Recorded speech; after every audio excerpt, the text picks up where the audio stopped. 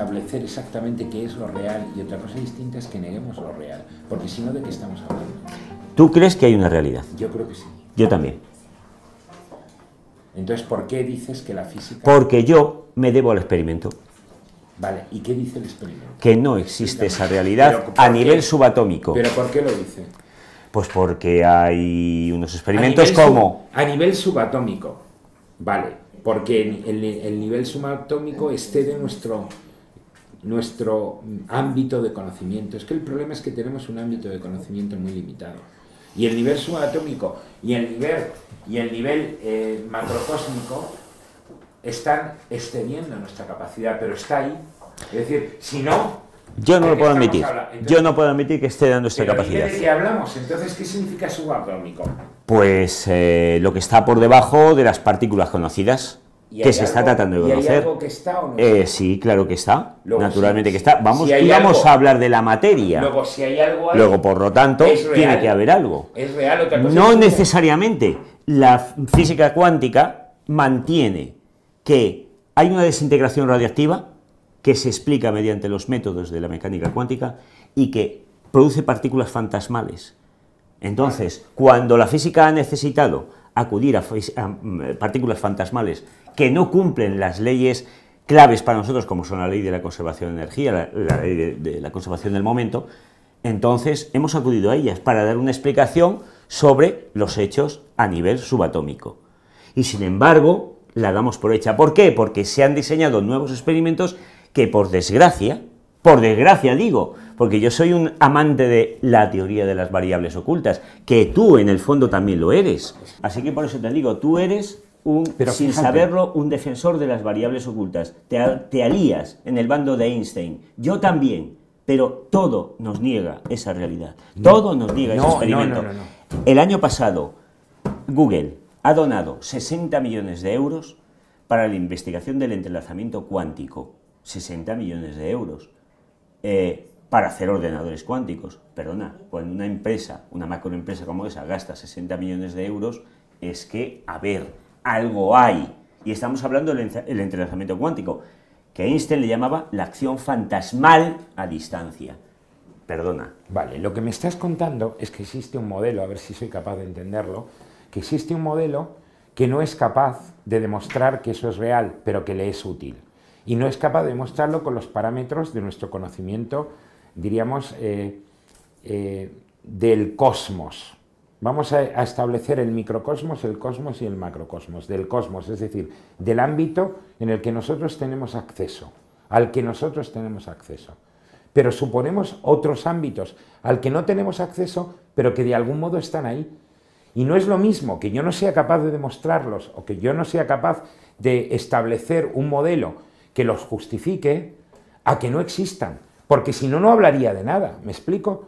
Es decir, lo real es lo real, independientemente de cuál sea nuestro conocimiento de lo real. Entonces... Yo estoy de acuerdo eh, contigo. Se acabó la cuestión. Estoy no, estás de acuerdo conmigo, pero me estás diciendo que la... Pero la física que la nos física, indica otra cosa. ¿Pero ¿qué, ¿qué es la física?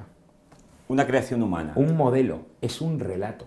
Ya lo hemos hablado muchas veces. Claro, como la metafísica es un relato. ¿eh? Yo tampoco estoy de acuerdo con, la, con las teorías metafísicas como como algo que cierra la realidad. La realidad es lo que está ahí, lo que es. No, la realidad hay que definirla. Hay que definirla más claramente. Ahí está. Si estamos hablando de física, hay que hablar, hay que definirla con mucho claro. Si estamos hablando de física, hay que definirla. Perfecto. Porque el objeto de la física es, con, es controlar la realidad, dominar la realidad, reformular la realidad e intervenir en la realidad. Ese es el objeto de la física newtoniana y esto nos ha dado un avance en, la tecnología espectacular, en el desarrollo de aparatos que nos sirven para mejorar nuestra vida, las cámaras, los ordenadores cuánticos y lo que te dé la gana. Eso es fantástico, ¿de acuerdo? Ahora bien, la física no puede pretender que la realidad se agota en su modelo. Ah, pues sí lo pretendemos. Ese es el problema. ¿Por qué? ¿Por qué lo pretendéis? Porque habéis perdido la humildad intelectual de la que presume Sócrates. Llegar a esto a través de la metafísica, en la que no proponéis ningún experimento, sino simple el razonamiento. eso no nos vale. No, no. El razonamiento y la contemplación de lo real. Vamos a ver. No, eso es un argumento circular, porque si me vuelves a mencionar la realidad y no me la has definido, vamos a estar así todo el rato. Sí, te la he definido, he dicho qué es lo que hay. Mm, ¿Qué es lo lo que veo, es? no lo entiendo.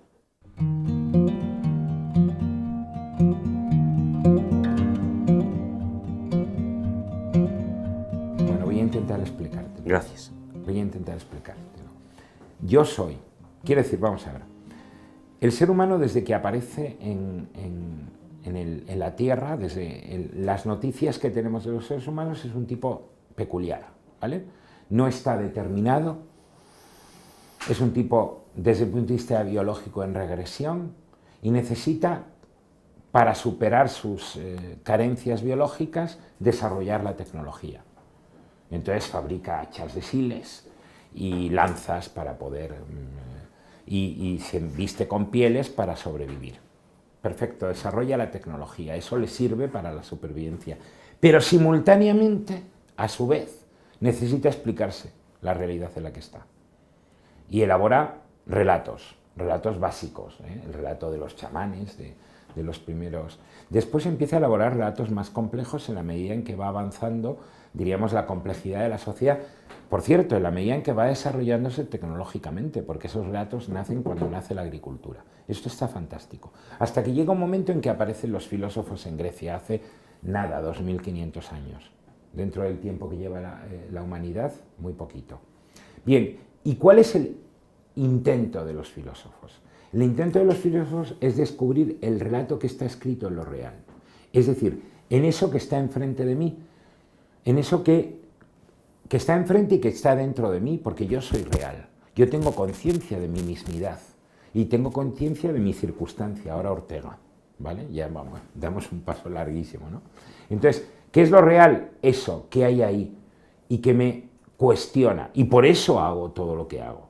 Y voy inventando relatos cada vez más complejos. Y el último relato que constituye nuestro, nuestro pensamiento es el relato de la ciencia. De la ciencia como intento de leer ese relato en lenguaje matemático. Eso es Galileo. Dice Galileo, el universo está escrito en lenguaje matemático, tenemos que dominar la matemática para explicarlo. Y eso es muy bueno, porque eso es verdad, pero no es toda la verdad. Es que esa es la cuestión.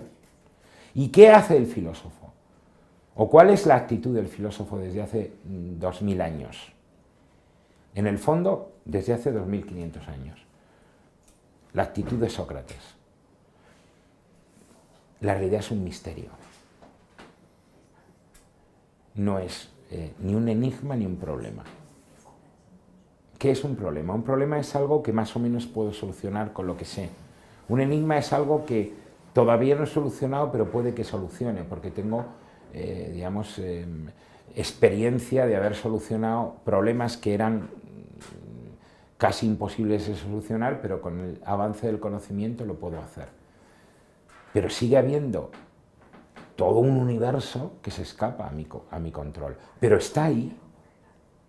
Y por eso hablo de él, y por eso elaboro teorías, y hago experiencias, pero lo que no puedo pretender es que la realidad se agote en mi conocimiento de la realidad. ¿Me explico? No, yo no te he entendido nada. Me he perdido hace un buen rato.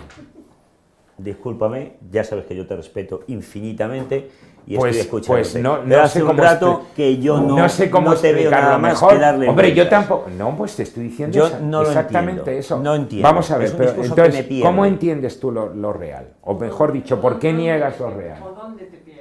¿O dónde te pierdes? Claro. Me Porque yo también me pierdo cuando empiezas a hablarme de las relaciones Pues, a ver, cuánticas. tenemos un pero problema. intento. No, no. Tenemos el problema de llegar a la plaza. Yo llego por este camino. Sabía yo que yo no podía pasar un punto. Te lo he dicho antes. Tenemos que encontrarnos en la plaza. Pero tenemos una barrera, una barrera gorda, grande, importante. Dime cuál es y la es barrera. que yo no, que no hemos definido la realidad. Ese es el problema. Yo no te oigo desde nada más que hace un rato hablarme de la realidad. Que si Sócrates y más, pero yo solo veo Es que yo argumentos no circulares. pretendo definir La la realidad realidad. está clarísimo. Eso es una realidad. Sí. Esto se cae, se cae y podemos calcular su velocidad. Luego hay realidad. Sí, el problema es que a medida que vas mirando más detenidamente, más hacia abajo, resulta que ese concepto de la realidad se va perdiendo.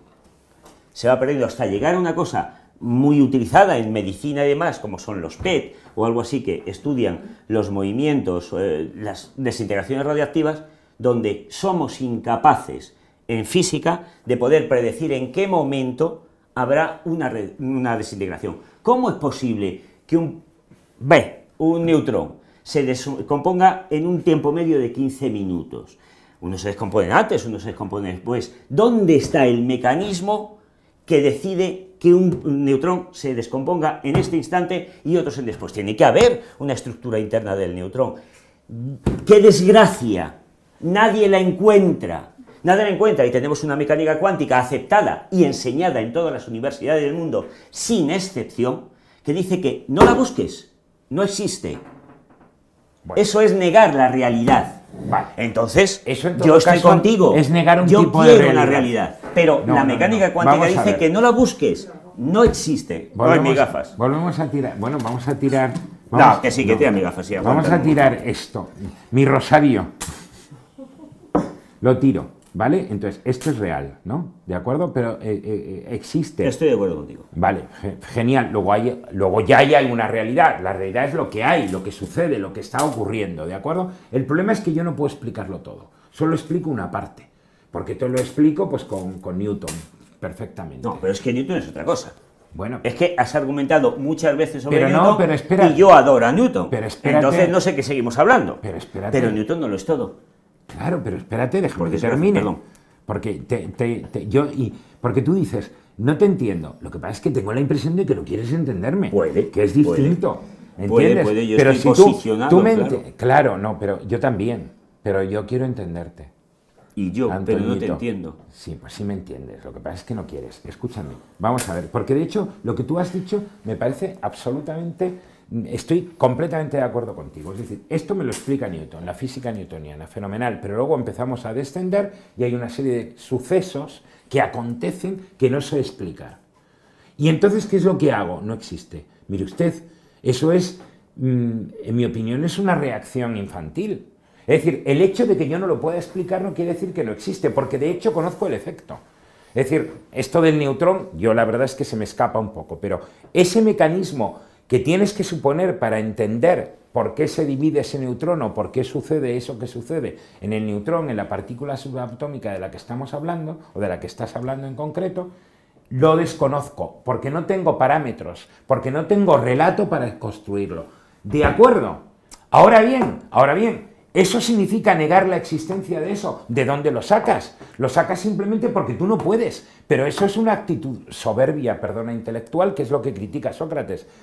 Esto ya lo dijeron, perdón, la no existencia de la vida ya lo dijeron los sofistas y lo dijeron todos los griegos. Los griegos dijeron, mire usted, ha llegado, ha llegado Parménides y ha dicho que el ser es, eh, eh, es in, inmutable, es esférico, es único, no sé cuántas, y por tanto fuera el, movimiento no se puede explicar. Y ha llegado Heráclito y ha dicho que todo cambia y todo y nada permanece, con lo cual no existe la identidad. Pues fenomenal, esto es una mierda, perdón, no sabemos no sabemos nada y lo que tenemos que hacer es dedicarnos a hablar y a vivir bien. Eso es lo que dicen los sofistas. Y frente a esos, se enfrenta, y, y, contra esos se levanta Sócrates. Y Sócrates les dice, claro que no podemos conocer todo, claro que no sabemos nada, que es el comienzo del conocimiento, pero algo podemos conocer, sobre todo porque lo necesitamos.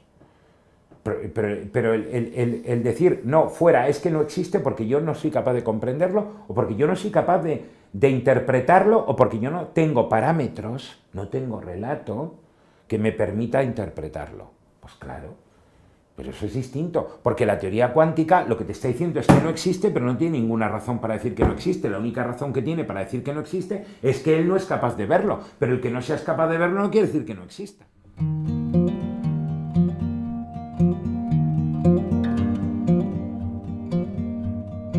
Estás posicionado como yo. Claro que No podemos llegar a ningún punto. Pero sí. Estás posicionado. Tú eres un defensor, no sé si lo sabías o no, de las tesis de Einstein. Este, este debate tiene 100 años. En el 2005 se celebró el año de la física. Yo soy un defensor de las tesis de Javier Mula, que puede que coincidan. Coincidan, coincidan, coinciden. En este caso tú estás defendiendo una cosa que les llama en física la teoría de las variables ocultas. Lo has expresado como persona inteligentísima que eres, con tus palabras. La teoría de las variables ocultas. Tú no eres capaz de explicar la desintegración del átomo, del neutrón, porque tú no tienes suficientes elementos de juicio, te falta conocer cosas.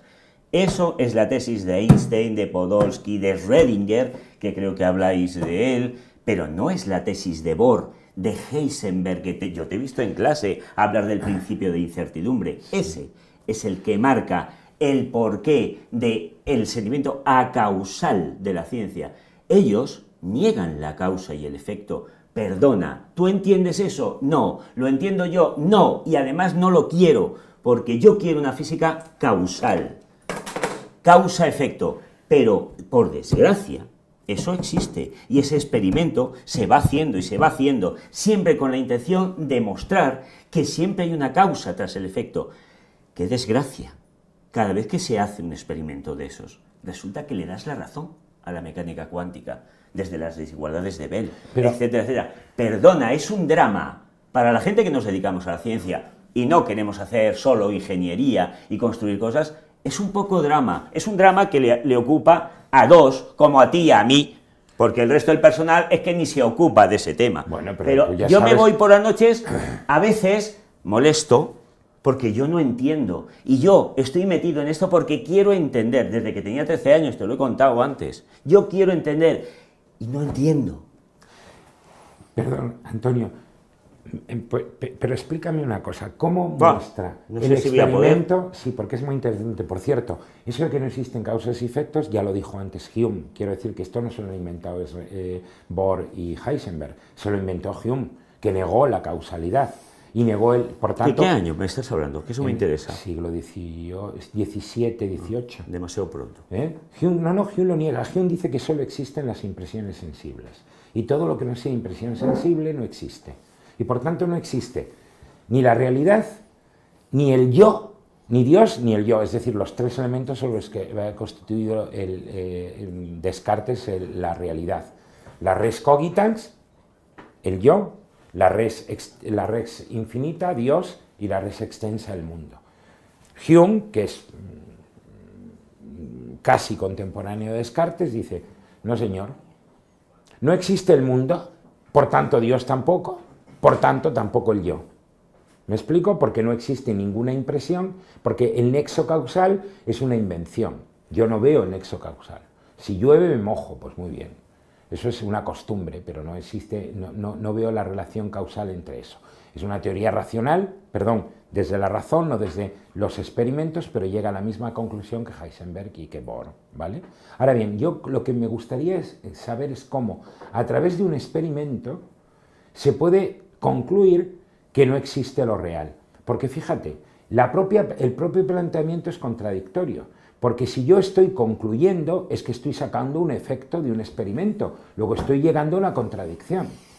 Lógica. Lo siento muchísimo. No, pero explícame. Todo eso, no, yo no voy a poder. No, no, dime, dime. Yo no estoy en condiciones de explicarte eso. Mi terreno no es el de la filosofía. No, no, no, no, soy no, capaz explícame. de explicarte eso. No, sí, Lo que sí te puedo contar es, es como un experimento pues, en escalera y cómo uno y otro van demostrado eso.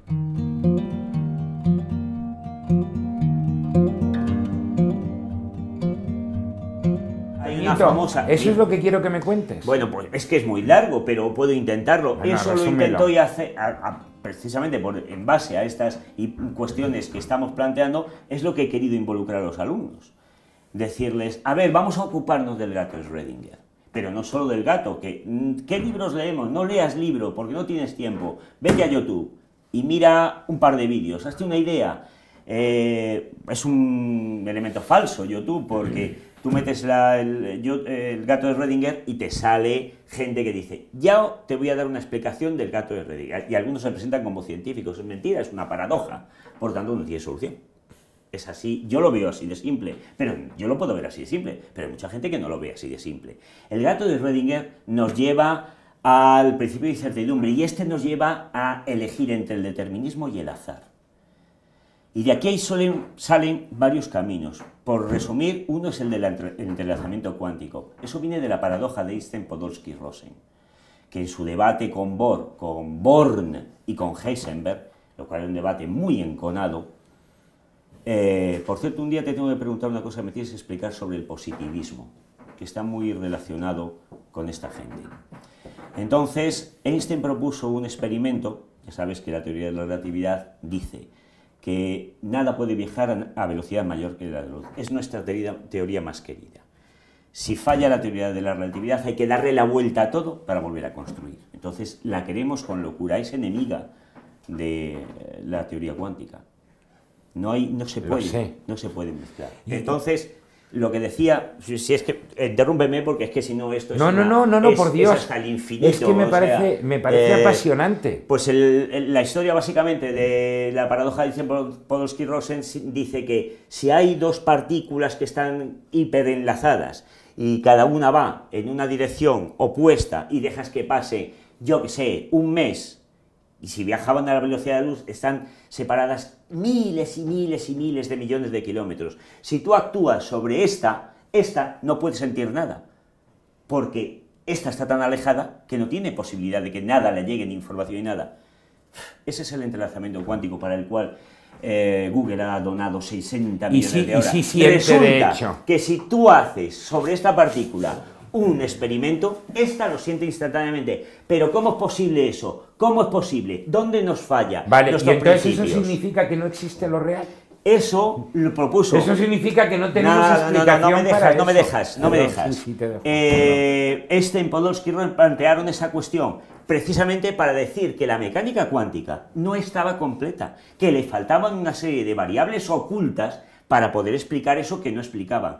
Ellos le dieron la vuelta y han convencido a todas las universidades del mundo que enseñan lo que ellos decidieron, la interpretación de Copenhague de la mecánica cuántica, no lo que decía eh, Einstein. Precisamente le dieron, el contraejemplo que hicieron fue darle la vuelta a la paradoja y convertirla en algo a su favor, a través del teorema de Newman, un teorema matemático. Por eso es muy peligroso siempre decir, hay un lenguaje matemático en el mundo. Yo no lo creo. Yo no lo creo. Y además sé dónde podría atacar a la mecánica cuántica. Yo quiero atacar a la mecánica cuántica. Yo no quiero la interpretación de Copenhague. No me gusta, no la entiendo. Entonces, yo quiero atacarla, sé dónde quiero atacarla. Y es en su linealidad. La matemática que nosotros utilizamos tiene una pega que nadie quiere ver. Y es que es lineal. En cuanto la matemática deja de ser lineal, entonces te entras en el terreno del caos. Y el caos tiene mucha amiga. Y es determinista. El caos es determinista. Amigo, yo amo el caos. No sé por qué. Será porque también amo a mi mujer y me da por eso. Entonces, yo amo el caos porque me vuelve al determinismo. Vale. Bueno, perdona. Perdón, pero yo no creo que estemos tan alejados, perdona. A ver, pero, perdona, pero ¿cómo hemos empezado? Si esto iba a ser un rollo, si tú y yo estamos de acuerdo en todo, en lo básico. No, no, no estamos tan alejados. La cuestión es cómo interpretamos eso, e, e, esos hechos, ¿no? Estoy de acuerdo contigo. La matemática lineal, porque esa es la cuestión, pero tú fíjate que me has acusado de que estaba dando vueltas circulares. Claro, es que esta es la cuestión, ¿vale? Es que la el acceso a la realidad o la realidad no es lineal, es mucho más compleja que lo lineal. Y las matemáticas sí que sirven, las matemáticas que es una invención, que es una construcción humana, sirven en la medida en que sirven y no más, ¿de acuerdo? Esa es la cuestión. Ahora bien, eh, yo sigo sin entender, ya que tú no me entiendes, yo sigo sin entender por qué eso niega lo real.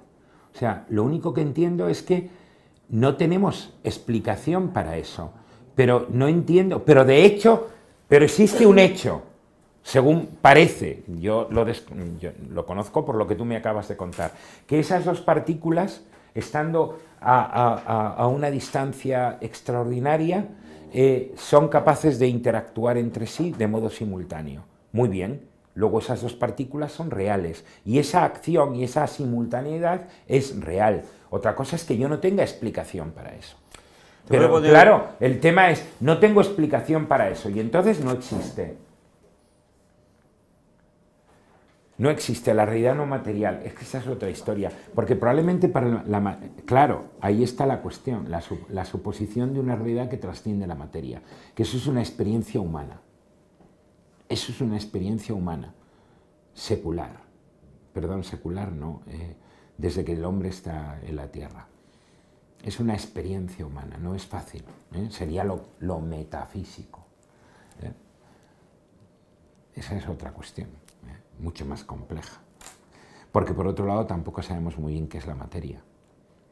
¿Cómo distinguir entre lo material y no material si no sabemos qué coño es lo material? Y ese coño que no me lo quiten, porque es que es así. No, por favor, subraya exactamente tu discurso. Eh, hay cosas que no se pueden quitar. Además, perdona, es, una manera de coartarnos la libertad de expresión. O sea, ese coño marca exactamente lo que Javier quiere indicar.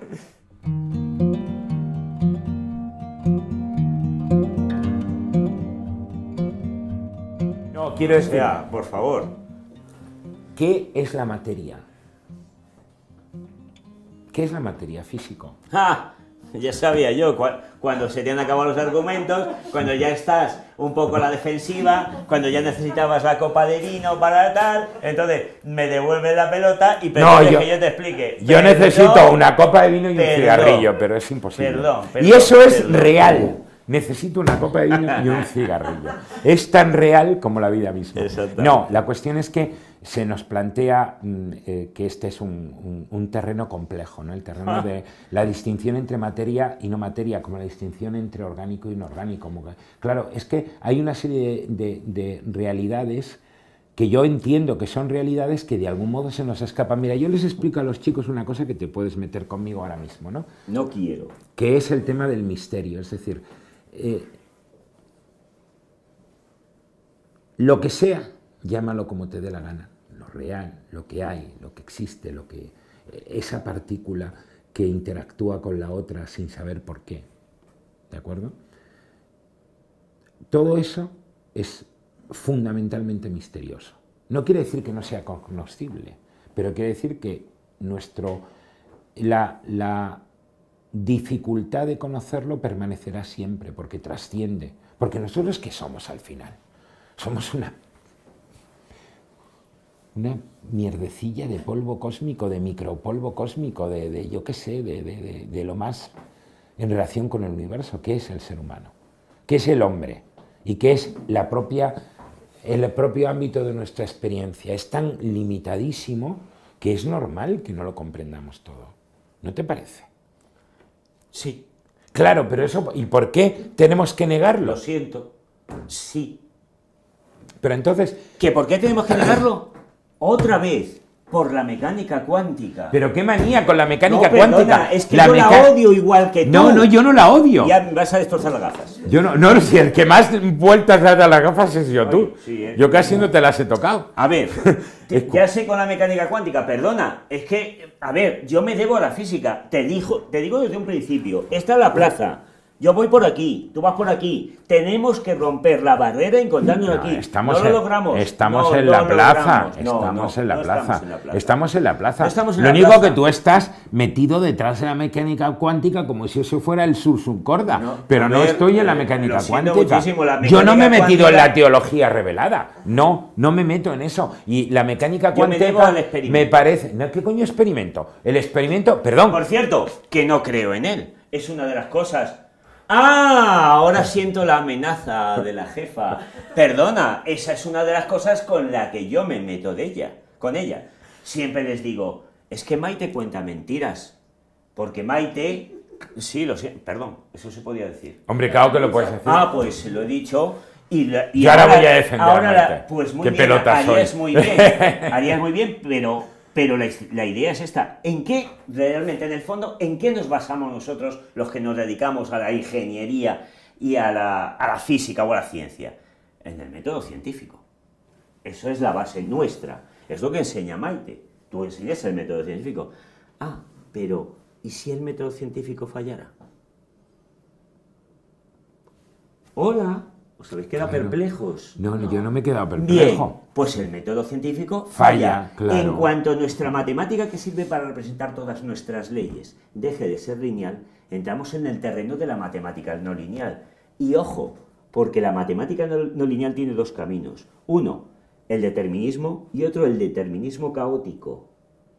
Y ahí el método científico falla. El método científico puede no ser repetible Maite, como ya hemos visto, Yo les enseño los límites del método científico. Luego los- fenomenal. luego lo lo- bueno que tiene la ciencia es que tiene una serie de hipótesis y axiomas básicos, pero pueden ser cambiados en cada momento. Claro. No es lo que espero que suceda con la mecánica Pero cuántica. claro, vamos a ver. Yo espero Pero poder claro, entender. Pero claro, Antonio, esto, pero no ves Así cómo que, por si, es- favor, ¿estamos si estamos, no, no estamos alejados. No. El problema es que el problema es que tú estás diciendo, vamos a ver, ¿qué es lo que me demuestra que eh, no existe la realidad? Los experimentos de la mecánica cuántica y te quedas pero la mecánica cuántica no deja de ser un relato y los experimentos no dejan de ser un método que puede ser perfectible y además puede ser falible. Con lo cual no puedo afirmar radicalmente que no existe lo real cuando estoy actuando sobre ello.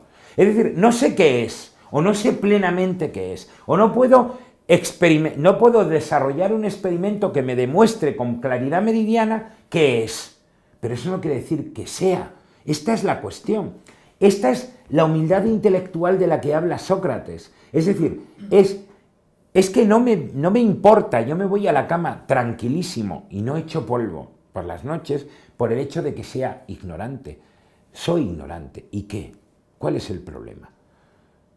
Si puedo conocer mucho más y puedo crear mucho más. Porque fíjate, ¿qué es la realidad no material? Pues la belleza del arte, por ejemplo. ¿Cuál es la realidad del arte? Desde el punto de vista cuántico, no lo sé, no tengo ni idea de cómo se experimenta un cuadro de Velázquez o de Modigliani. Lo que sí sé es que existe algo que es bello y que trasciende a su composición bioquímica o su estructura molecular. Y no tengo ni idea de qué es eso. Y no creo que me lo pueda explicar una teoría científica, ni un método experimental. Y sin embargo es real. Y además es lo más real. Y lo que más importa. ¿Por qué pintan los, eh, eh, los hombres primitivos las cuevas? ¿Por qué las pintan? ¿Qué, qué tiene que ver eso con, con la eficacia en la caza? Ninguna, nada. Y sin embargo es lo que mueve realmente al, al ser humano. ¿Eh? ¿Qué tiene de extraordinario una pieza musical?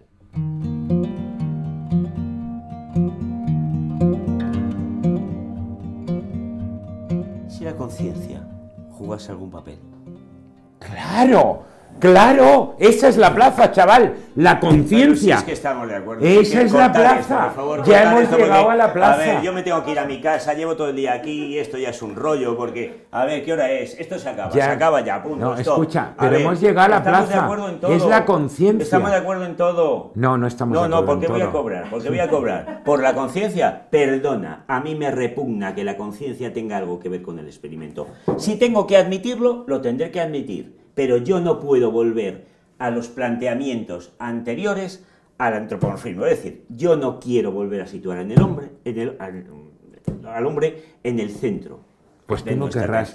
Yo no pues quiero. tú no querrás, pero es así. Porque, Ah, yo no estoy de acuerdo. Pero tú no estás. ¿Quién no está de acuerdo? Tú, que eres Los un demás sí. hombre. Tú, que eres un hombre. ¿Entiendes? Es decir, tu afirmación es una afirmación de conciencia. Al final, Bertrand Russell, filósofo de la ciencia que tú conoces, dice: todo acto de conocimiento parte de un acto de fe animal. Es decir, de conciencia, de afirmación de ti mismo. Y cuando tú dices yo no estoy de acuerdo, yo no quiero, estás diciendo yo no puedes sustraerte de ti mismo. Esta es la clave, Peque. Querido Antonio. Es decir, es que esta es la clave. Sabía yo que no debíamos llegar a esto, porque ahora Pero ya no vamos a ver por los pasillos y no nos vamos a hablar. ¿Cómo que no nos vamos a hablar? Yo te quiero tanto, Antonio. Lo sé, lo sé, lo sé. Y además Pero te me admiro estás, tanto. Hablando siempre de filósofos. Yo ahí me pierdo, me pierdo. Yo siempre voy al experimento. Y el experimento me dice, ¿Y quién? interpreta a la gente como que hay una conciencia que determina el experimento. El resultado del experimento está de- determinado por la conciencia. Perdona, mm, ¿me vas a atacar otra vez? Bueno, no a mí, a mí no. Vas a atacar a los que plantean esto. ¿Qué puñeta a mí? La mecánica cuántica. Pero ¿cómo es posible Pero que el experimento de algo esté determinado por la conciencia del observador? Porque lo hace- Es una cosa que... que pero yo- es que mí- lo hace él. Entonces niegas la realidad. No, no, no, no, no, no. O sea, Afirmo yo, que la realidad manera, está. determino el resultado del experimento según mi conciencia. A ver, por favor. Entonces, no hay una realidad subyacente. Hay una cuestión mía, de mi observación, que posiblemente vendrá modificada un poco por mis planteamientos culturales, sociológicos... Pero etcétera, sí, etcétera. pero si eso es lo que acabas si de la decir... física pero- es así, yo me dedico a la ganadería, no, que es lo mío. No, la física. Pues claro, todo lo humano es así. Quiero decir, pero es justo. Pero vamos a ver, si es tu crítica a, a Maite, es tu crítica a la experimentación. Al final la experimentación la hace un tío y la hace en función de una, de un- de- de- de una teoría que Me ha elaborado él. No es la Yo hago un experimento y determino el error. Pero ¿quién coño lo haces? Lo haces tú. Lo hago yo. Claro, no se hace creo- por sí mismo. Porque yo creo en una realidad. Por eso hago experimento. Yo tengo en mi casa un Claro, laboratorio hecho por mí. claro. Que me ha costado un dineral. Si no creyera que hubiera una realidad, yo no me habría Pues gastado. claro. Entonces, yo me dedico a hacer unas mediciones. Si esas mediciones no tienen una realidad subyacente, o sea, ¿pero qué estoy haciendo yo? Pero estoy estamos- tirando mi vida y mi tiempo Pero- y mi cansancio. pero- es una luz que viene de las estrellas. Antonio, unas estrellas no. Que están ahí desde mucho, mucho antes de que el hombre pero fuera bueno, hombre. estamos volviendo, estamos volviendo a lo que yo he dicho antes. Estás diciendo justo, o Pero, sea, quieres por favor. No, sí, a, ver, estamos A ver, escúchame. un innoble. No, no, no, no, no. Porque el asunto es No. que desde un principio tú y yo estamos No, en el pero mismo escúchame, barco. pero escúchame un momento, no, pero espérate que quiero decirte lo que acabas de decir. Estoy completamente de acuerdo contigo. Existe una realidad subyacente, pero quien la conoce soy yo. ¿Entiendes? Es decir, yo no puedo salir de mí mismo para saber que lo que hay, que lo que yo veo se corresponde con algo distinto de mí mismo. ¿Me explico? No estoy negando la realidad. Sé que hay algo ahí porque lo conozco, pero lo conozco yo. Es decir, desde mi realidad, el experimento lo hago yo. ¿Entiendes? Hago yo y lo transmito. es- no, claro, y lo transmito, pero lo transmito yo, y lo transmito con mi lenguaje. Y tú, yo te conozco a ti desde mí mismo, no desde ti, sino desde mí. Eso no quiere decir que tú no seas distinto de mí, que yo te conozca y que la estrella que esté observando en mi telescopio es una estrella que está ahí y que a lo mejor ni siquiera está, que estoy viendo su luz después de haber desaparecido. ¿Me explico? Pero cuando yo la veo es el momento en que es para mí. ¿Me explico? Entonces, la conciencia es clave para el conocimiento, es el punto de partida, porque es el yo, es el hombre, no, no el individuo. Eso no quiere decir el relativismo, cada uno ve lo que le da la gana, no, Pero yo no modifico la luz de la estrella por mi observación. no, no modificas la luz de la estrella con- por tu observación. Pero Espero sí, que estemos de acuerdo con eso. Claro, sí, Pues pero... podríamos no estar de acuerdo. No, no, no, sí, Claro. no, no, no la modificas, pero conoces lo que conoces y no todo lo que conoces. Tú no modificas la luz de la estrella, pero la estrella es más que lo que tú conoces. Y lo que tú conoces está determinado por tu conciencia, es decir, por tu conocimiento de ti mismo, por tu experiencia, por dónde estás, por tu ubicación. Pero no hay tantas realidades como conocedores. No, hay una única realidad que es conocida desde, todas las desde muchas perspectivas. Hay una única realidad que es poliédrica, hay una única realidad que es compleja, hay una única realidad que tú, yo veo y tú ves y que es la misma realidad pero vista desde ti, desde ti mismo y desde, desde mí mismo. Claro que sí, tú eres Maite y a ti te conoce tu hija y tu marido y tus amigos y tus padres y tus eh, vecinos de tu pueblo y yo te conozco. Y tú eres la única realidad que es conocida desde distintas perspectivas. Y esto es una realidad mucho más simple, que es la del ser humano. Bueno, no, no tan simple, pero mucho más. Imagínate el universo, ¿me explico? Es decir, yo no modifico lo que también, ¿eh? que también en cierta medida lo modifico cuando intervengo, cuando estoy observándolo, de algún modo lo estoy modificando, pero en cualquier caso pretendo conocerlo tal cual es. pero lo conozco desde mi mismidad, esto es, esto es evidente, es decir, las cámaras que nos están que nos están grabando, nos están grabando desde una perspectiva. Esa cámara desde ahí, esta cámara desde ahí, esa cámara me muestra mi cara y esta cámara muestra mi... Y luego además tiene una serie de elementos, la propia cámara, que, que me, saca de un modo los brillos, no sé qué, estos señores que saben de cámaras, pues seguro que lo saben. Y, y por eso intervienen y modifican. Lo que sale ahí es exactamente lo que hay aquí, no está modificado por la cámara. Porque además ahí sale un aspecto de mí, no sale mi interior. No sale lo que siento, lo que pienso. A mí me encantaría poder diseñar un experimento en el que pudiéramos sacar de Javier, todo lo que hay dentro. Evidentemente es un experimento imposible. Claro. Yo no aspiro a eso. Claro. Yo solamente observo los fotones que una vez emitió la estrella y me limito a eso. Pues genial. y ya está. pues Pero yo no genial. no, pero, Pero no a puedes decir que solo existen yo- los fotones porque es lo único que tú conoces. Desde luego. Claro, pues Yo hasta ahora solo llego a los fotones, solo llego. Mi sueño es poder llegar más, ade- más arriba. No me dará tiempo, evidentemente, ni a mí ni a sucesivas su- eh, generaciones.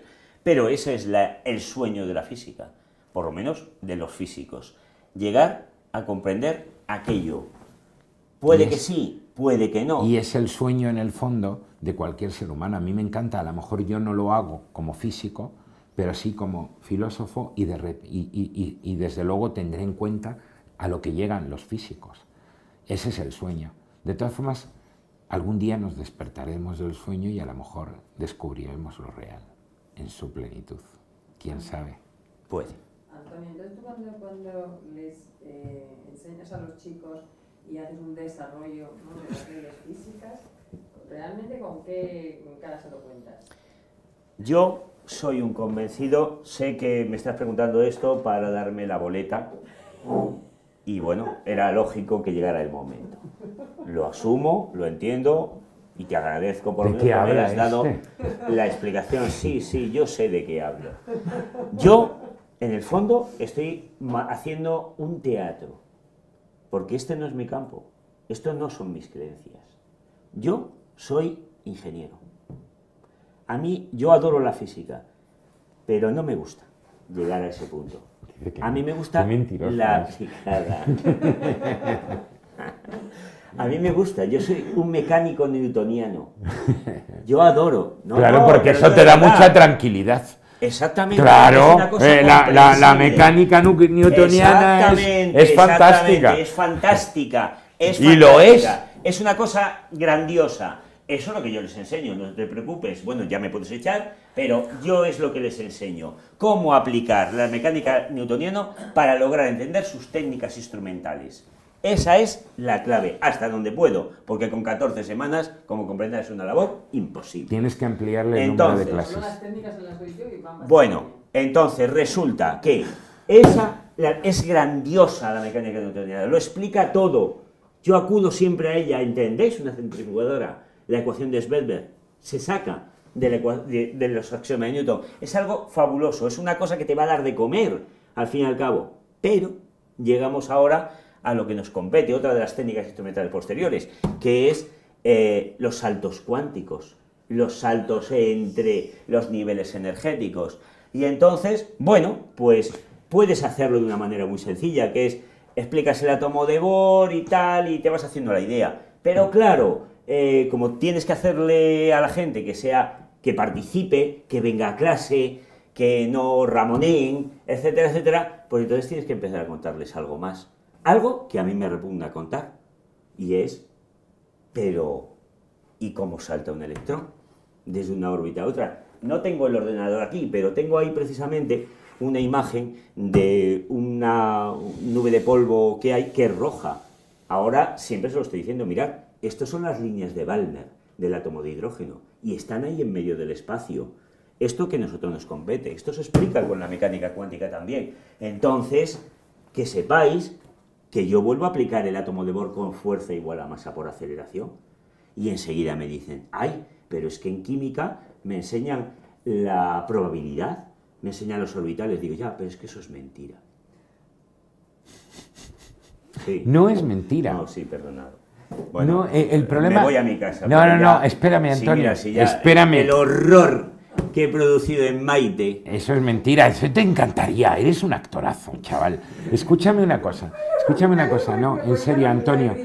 Es que, es que me, parece, me parece espectacular todo lo que estás contando. Bueno. La cuestión es la siguiente, es que no es mentira lo que dice. Lo que pasa es que no es toda la verdad, es que el problema es que la mentira y la verdad son cuestiones, diríamos, que hay que explicar. ¿Qué es la mentira y qué es la verdad? Depende y no estoy siendo relativista, estoy diciendo que lo verdadero es mucho más complejo y se aborda desde... Y yo creo que es verdad lo que le explica Maite o lo que le explica Susana en química, Y es verdad lo tuyo. Lo que pasa es que estamos hablando de niveles de realidad distintos. Esa es la O cuestión. sea, de error. No, tío, de niveles de realidad distintos. Estamos hablando de error. Y luego, Lo cuantificamos de esa manera. Bueno, y. No, no, nada. Nada. Pero yo soy un provocador. Pues genial. Pues es lo mejor que se puede ser en clase. Mandarles mensajitos para que enlacen unas clases con otras. Mira, tenemos una oportunidad única. Si estáis buscando que la gente se interese por la filosofía. Mira, yo me meto con Maite. He empezado a meterme contigo. Les he hablado que te iba a meter por cierto, lo que me preocupa es que yo he leído, no mucho, pero he leído algo de Schrödinger, de Heisenberg, y tú no hayas leído nada de Hume, por ejemplo. Lo siento, lo pues siento, deberías, chaval. Bueno, Porque pues, Hume es, si la, es la base intelectual Si tú te de lees esos, varios es decir- libros que yo te deje, tú, yo me leo unos libros que tú me dejes. Vale, fenomenal. Quedamos en eso. Quedamos en eso. Segundo Fenomenal. cuatrimestre yo estoy mucho más Bueno, y yo, y yo, yo ahora mismo no puedo, estoy colapsado. Pero en el segundo cuatrimestre tú me das una, li- una literatura y yo, yo la leo y discuto contigo. Y yo te doy otra y hacemos lo mismo. Mira En- qué maravilla. En, cual- en cualquier caso me lo he pasado fenomenal. Hubo un filósofo de la ciencia que decía a los planteamientos de London y Bauer, que es sobre la conciencia y la intervención en el experimento, que decía, cuando tú sales de tu casa, ¿tú estás seguro que sigue allí? Eso lo decía Hume. No, y lo dice otro que Ya, está pero- muy relacionado. Pero lo dice antes. Claro. Perdonar. Esa es yo- la cuestión. No, eso no lo Pues puedo yo creer. sí estoy seguro que sigue allí. Y yo, Pues ya está. Y yo. Pero un día lo hicimos, en nuestro primer encuentro, hice esto con la pobre Pilar, pobrecita mía, que no me conocía de nada. Le dije, yo creo en la realidad cuántica, y la hice así. Y digo, acabo de tocar a Pilar. Yo creo que eso es una realidad, la he tocado. Sin embargo, cuando vamos mirando, mirando, mirando, mirando, a nivel subatómico, eso Ah, se pierde. genial. Eso se pierde. Entonces, Genial. la idea de la mecánica ¿Y? cuántica, y ya me voy, es que construimos un mundo real sobre un mundo fantasmagórico que no existe. ¿Tú puedes entender eso? Yo no, yo no. Esta noche ya no duermo.